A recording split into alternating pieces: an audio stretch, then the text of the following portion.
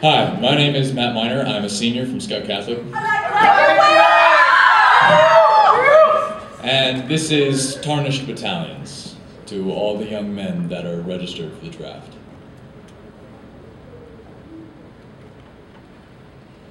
You would think the legions would be shining. The knights come riding in with their suits polished and blazing. Each one beats his chest, accepting his glorious death with a metal clang that sounds across the field.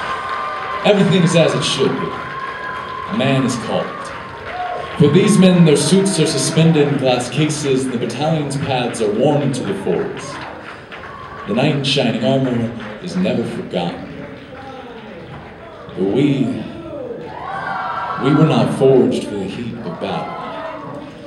We poets were cast onto the anvil nonetheless. The hammer came down upon us awkwardly. Our breastplates are sunken. Our metal is too brittle.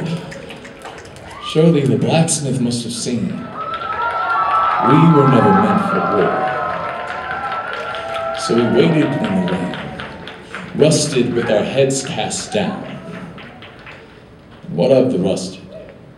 What of the boys that were never meant to march? Those who came to the battlefield wearing the coat of arms more as a scar than an insignia. The metal quakes in fear. The grinding cacophony drowns out the shuddered sobs of a boy who is trying to remember his saving prayer, trying to outsing the screaming. He never thought that one day he might grow into his cast iron playthings, that one day he might be a toy soldier for a faceless mob of prying silhouettes. Manhood is a draft with no dodgers. The helmets are slammed onto our heads, and our words ricochet within them, and we are told to wait. We wait. We wait. We wait in our derelict apartments. We wait in our dorm rooms. We wait for the saving grace of old age. 26 years. We are boys. We are poets. We are not ready for death. Just like the 16 million that went ahead of us, we are not ready to kill. We are not ready to write with quills filled with blood, whether it be from our veins or the veins of the boy at the other end of the muzzle.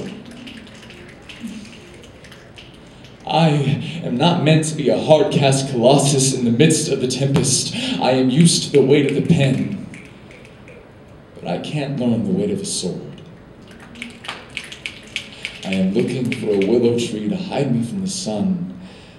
When I'm alone, the helmet is cast to the dirt, and the tears rusted.